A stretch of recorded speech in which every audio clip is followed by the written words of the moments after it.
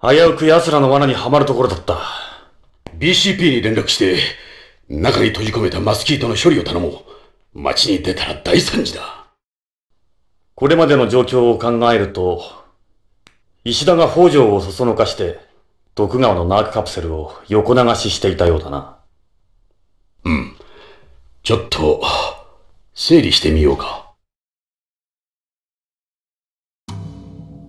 石田は BCCH 出向の件で会社に対して不満を持っていた。もちろん金もあるだろうが、徳川への怨恨もあったろう。そこで石田はこれまでの K シリーズに目をつけた。新製品である K9 のサンプルを BCCH の薬局を利用して売りさばいていたんだ。徳川に内緒で。徳川もバカじゃない。ナークカプセルが外に漏れるとすぐにわかるおそらくナークカプセルを徳川から購入しようとしていた組織の連中も不審に思ったはずだ。組織を通さず市場の末端にナークカプセルが取引されることを最も嫌うのは彼らだからな。つまり石田たちは徳川と組織の両方から命を狙われていた。北条は行方不明になり恐ろしくなった石田は俺たちに助けを求めてきた。徳川と組織が相手じゃあいつには勝ち目はない。石田は俺たちを使ってビヨンドを離れるつもりだったんだ。しかしどうしてあの時奴の声に気がつかなかったんだ。ホームなまりが引っかかってたんだ。鉛？メリルが電話を取った時ホームなまりがあったと言っていたな。それが？石田は根っからのビヨンズだ。ホームなまりはない。それでタレコミ屋は石田ではないと確信してたんだ。がまんまと石田にはめられたってわけか。情けないんだな。しかし何か判然としない。どちらにせよ石田はまずい立場になった。徳川や組織を敵に回し法も犯している。あの宇宙服で姿を隠して現れたのもそのためだろう。そして石田は口を封じられた。しかしあの時の男と石田が同一人物だという確証は？あの時男が着ていた宇宙服は間違いなく首なし死体が着ているものと同一だ。同一？男とコンタクトした時こっそり宇宙服に印をつけておいたんだ。印？タバコで服をちょっと焦がしたのさ。なるほど。そのくわえタバコも役に立つことはあるんだなさっき調べたのはそれか？であったか？印は確かにあった。中にいた人物が石田であったかどうかまでは確証できないが同じ宇宙服であることは言える。まず石だと思って間違いはないだろう。カプセルを持ち出した北条は行方不明となりカプセルを売りさばいた石田も殺された。石田の言っていた奴らって麻薬絡みの組織か徳川あるいはその両方か。それも AMM に転がっている死体の身元を調べれば明らかになる。野の道奴らに雇われた殺し屋たちだろう。俺たちが追っているのは背後で操っている黒幕だ。しかし俺たちをおびき出した女ってジョナサンどうした？ポリスカーの下を見ろ。誰かが細工してる。おいお前そこで何をしてる！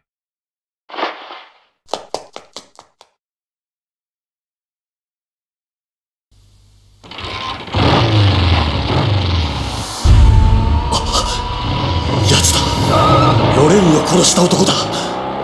今度こそ逃がさん。エド行くぞ！よかったまだ再興されていない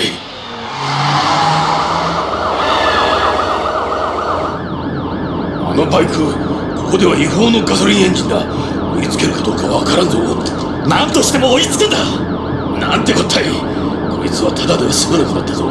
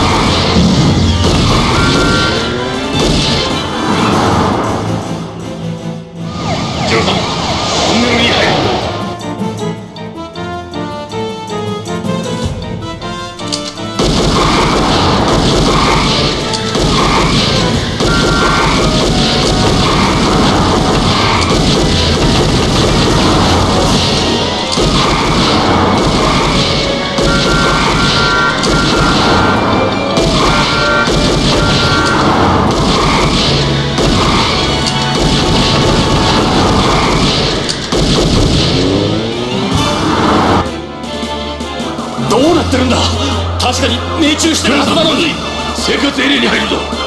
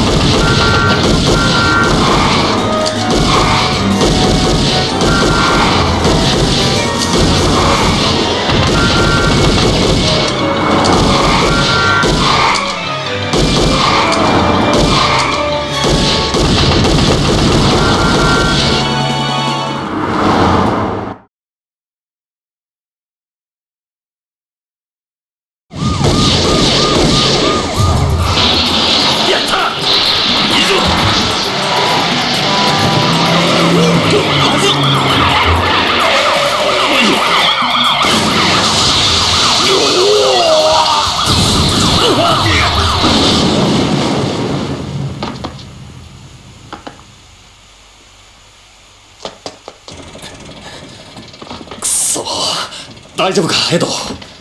いてててくそ奴はどこだ？バイクを置いて逃げた。走れるかエド？無理だ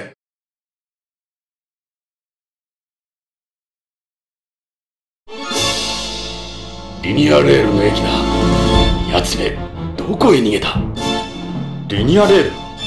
反発式磁気浮上方式のハイスピードインテリジェントビヨンド交通システムだ。最高速度時速500キロ。コロニー内の全域をカバーしている。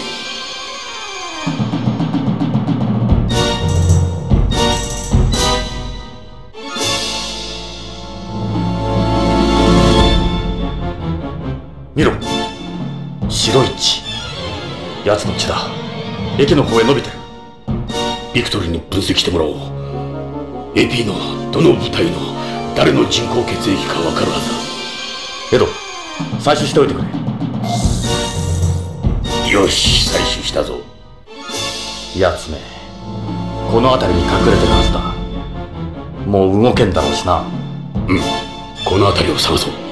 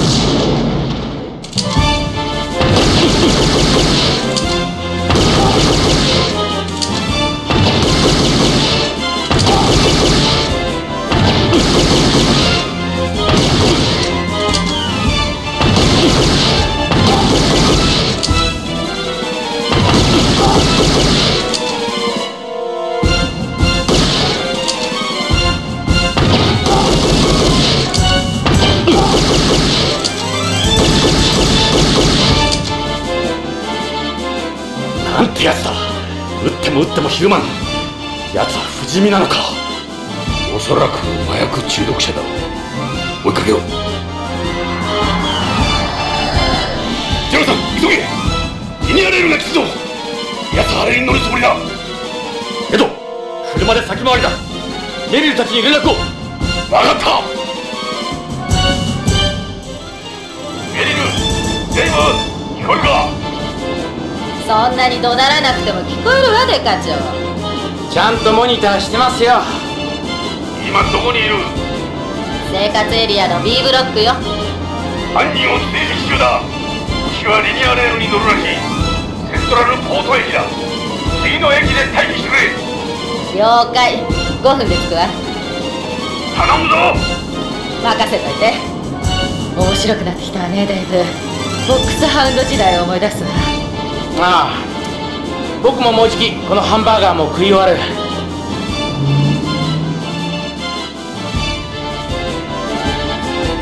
よし。奴を追いかけよう。行くぞ。ジョナサンホームで上がろう。今なら奴に追いつける。エド乗車切符はどうする？俺のポリスバッジが非接触切符に対応してる。なるほど。ただ乗りの常習犯か？俺にぴったりくっついていれば通り抜けられる。行こう。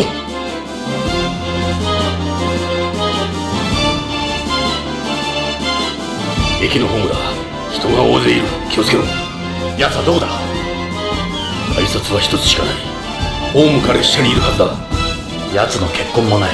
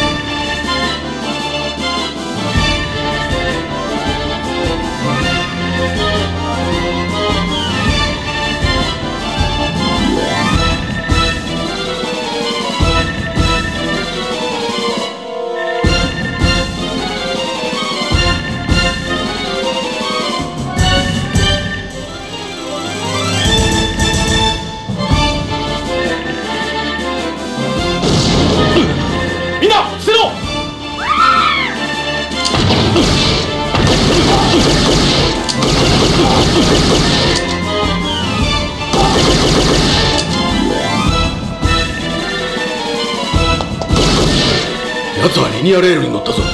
急げ扉が閉まる。よしジョナサン列車の最後尾に乗り込むぞ。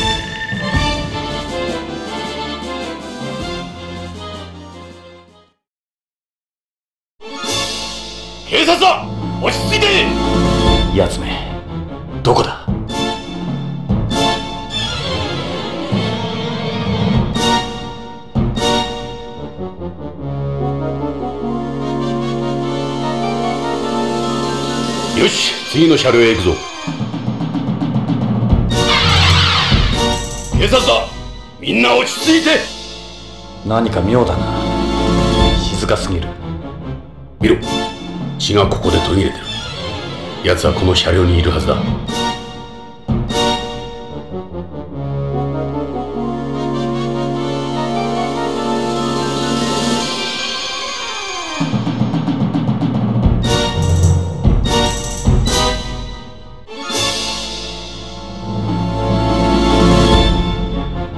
お嬢さん協力してくれないか？さっきこの車両に男が逃げ込んできたはずだ。助けて！エド変だぞ。どうしたんです？怖がらないで。助けてくださ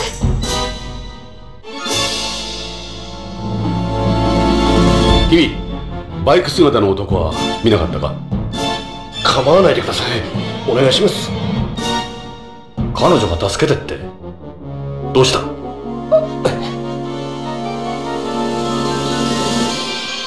を怯えてるんだ？俺たちは警察だ。安心していい。何でもありませんよ。疲れてるんです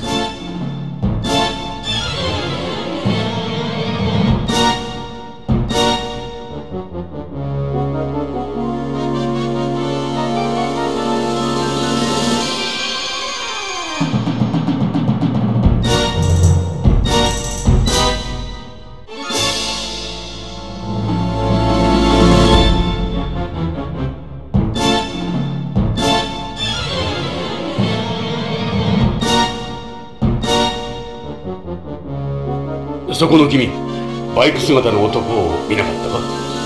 知らない。そこの男の子のことじゃないのか？見てないんだな。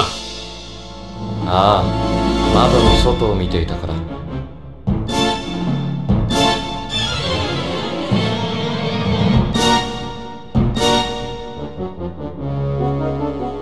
奴の血だ。やはりここで途切れてる痕跡を細工した跡がある。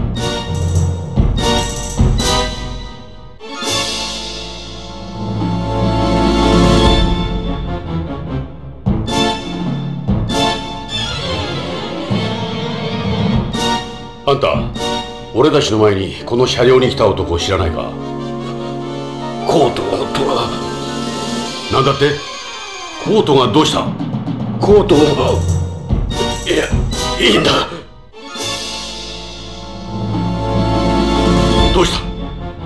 何か知ってるのか？いや忘れてくれ。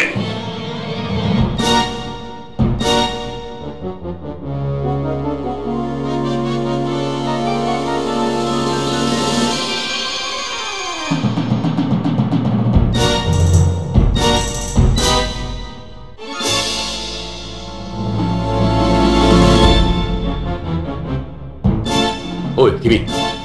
さっき男が入ってきただろ？君と同じバイクスーツを着た。知らねえよ。俺は何にも見ちゃいねえ。本当だよ。妙に強調するなこいつ。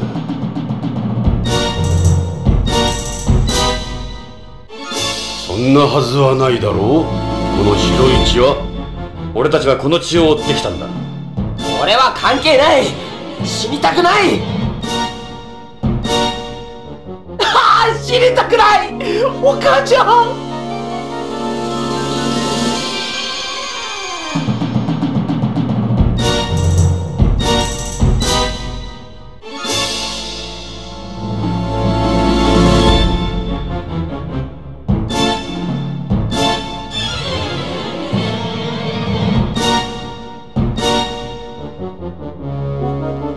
バイク姿の男はどっちへ行った？知らん。何も知らん。私は関係ない。何か変だぞ。この男。ジョナサンみんな様子がおかしいぞ。奴に脅かされてるのかもしれん。つまり奴はこの車両にいる。奴のヘルメットはどこへ行ったんだろう。かさばるもののはずだが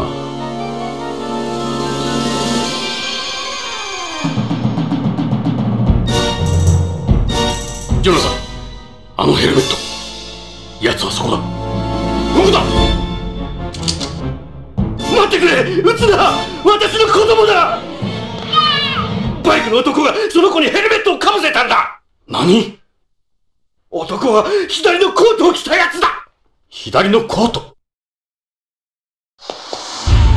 ジョナサン奴は。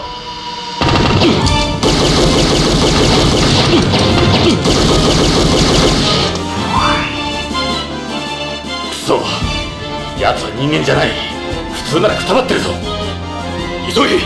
次の駅に着いちまぞ。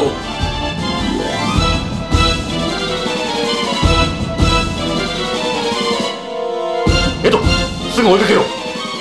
よしジョナサン。次の車両へ行くぞ。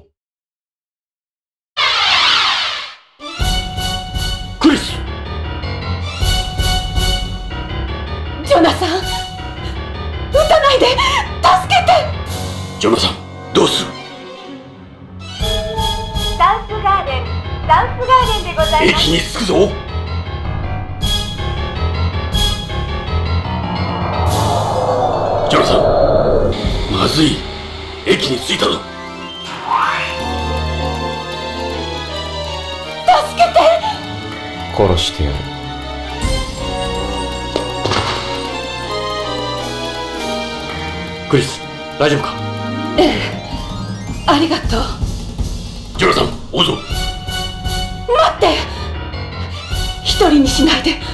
お願い。クリスもう大丈夫なんだよ。私怖い。ジョナサン逃げられてしまうぞ。エドミリュウたちに先回りするように連絡してくれ。分かった。メリル聞こえるか？サウスガーデン駅だ。奴が出るぞ。オッケーよ。スタンバイしてるわ。位置についてるよデカ長黒のバイクスーツを着てる。大男だ。すぐわかる。その星私たちがいただくわ。悪く思わないでね。奴は凶暴だ。用心しろ。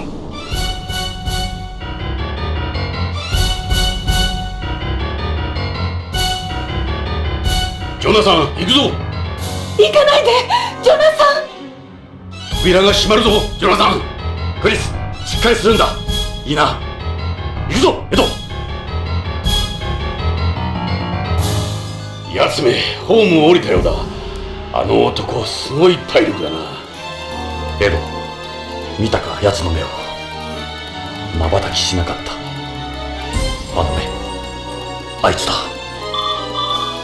おメリルからの連絡だ。こちらエドどうなった？デカ長星を追い詰めてた機前の焦点よよしすぐ行く。無茶はするな通行人を人質に取られたわ。メリルどうした？何かあったようだ。急ごう。デイブ！デカ長デイブがデイブが。なんてこったデイブ！ジョナサンデカ長撃たれちまった。どうしたよ。人は殺さず最小限のダメージ通用しなかった。あいつには通用しない。本当。嘘みたい。こんなことならあんたの言う通り防弾チョッキにしとけばよかった。奴は。この店に人質を連れて入っていったわ手に爆弾を持って。ジョナサンデカ長あの男あいつだよ。あのシューティングあの動き。奴か。ああ AP 隊のレッドウッド。デカ長デイブを助けて。俺ホームへ行きたかった。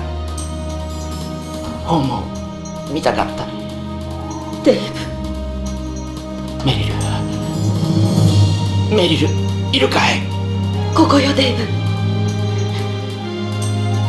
前から言いたかったことがあるんだ。俺ハンバーガーより好きなものがあるんだ。誰にも話してないけど。何？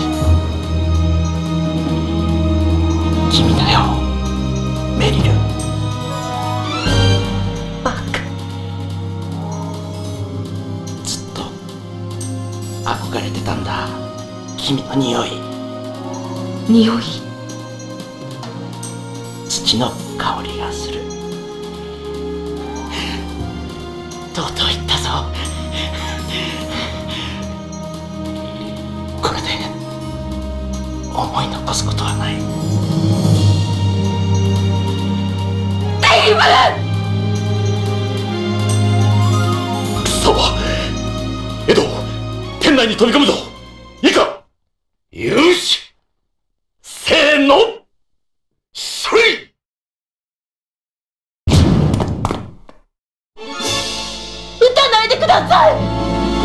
奴はどこだ？大丈夫だ警察だ落ち着いてお願い助けて奴は奴はどこへ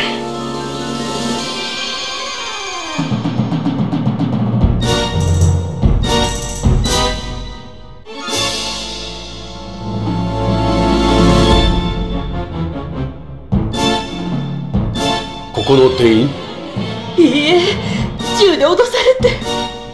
男は男はどこへ行った？裏口から。裏口から逃げたんだな。そうです。くそ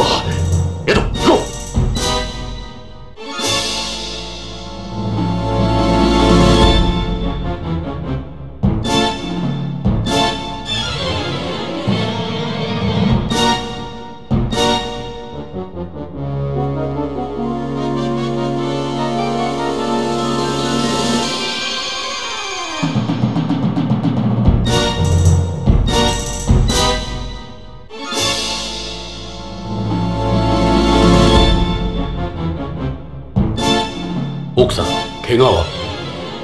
なんとか。大丈夫ですね。ええ。いきなり外で捕まえられてここへ。うもう大丈夫だ。エドさあ追いかけよう。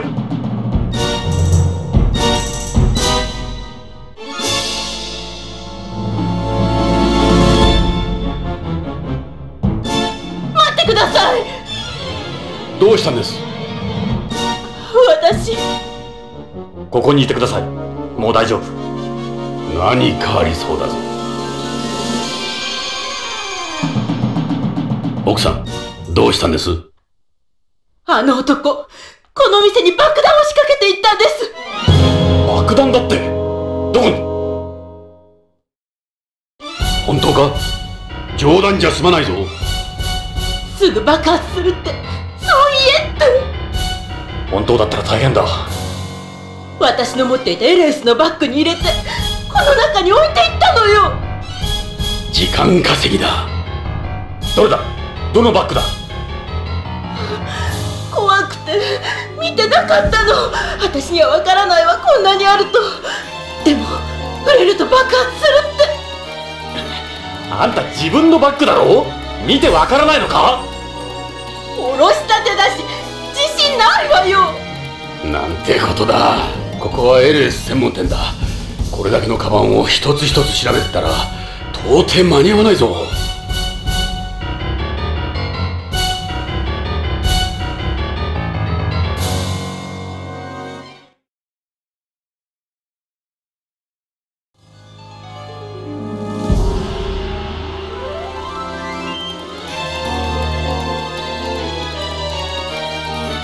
奥さん。あなたのバッグはこれですか？私見てなかったから。自分のバッグだろ？わからないわよ。どれも自分のに見えるもの。じゃあこれは？勘弁してよ。自信ないわ。さっきも言ったけどおろしたてだったのよ。どうすればいい？奴めこの間に逃げるかとっさにしてはうまいこと考えやがった。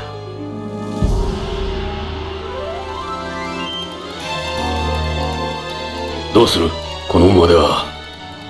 コロニーに穴が開く。このブロックは全滅だ。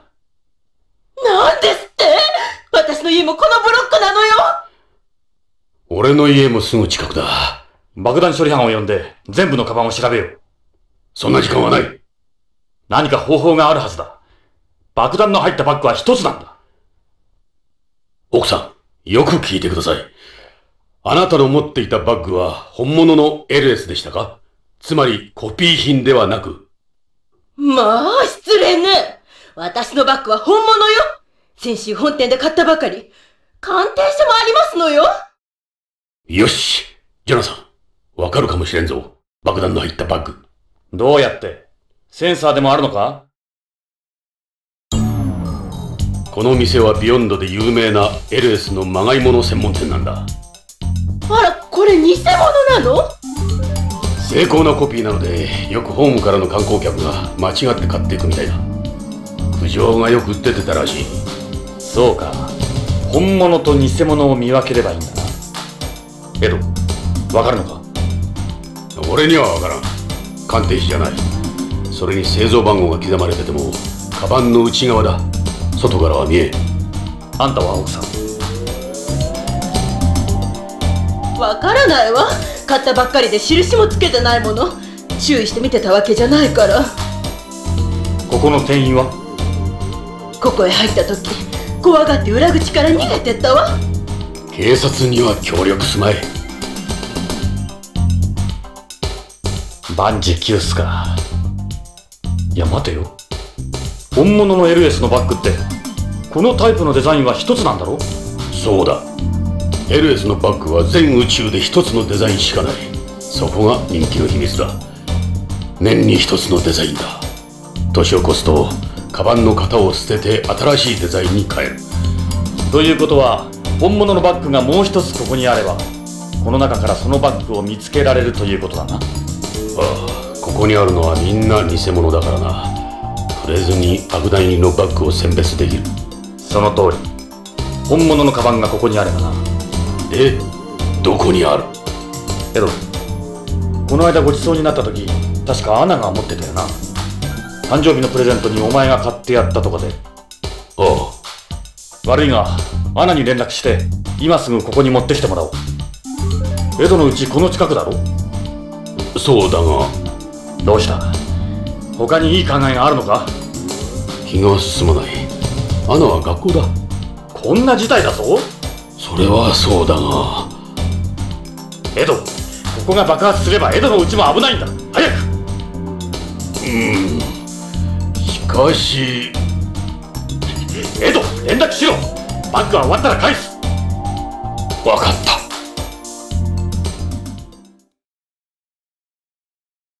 どうした？